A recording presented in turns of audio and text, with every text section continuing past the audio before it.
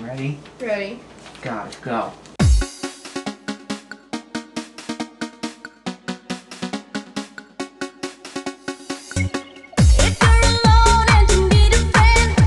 Okay, I want to do it one more time. Well, I've known him for about 40 years or so.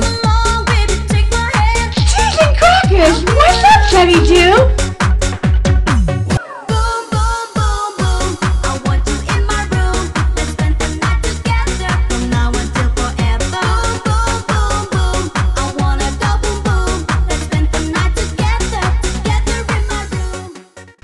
How many times are we gonna keep doing this? A lot, Paul.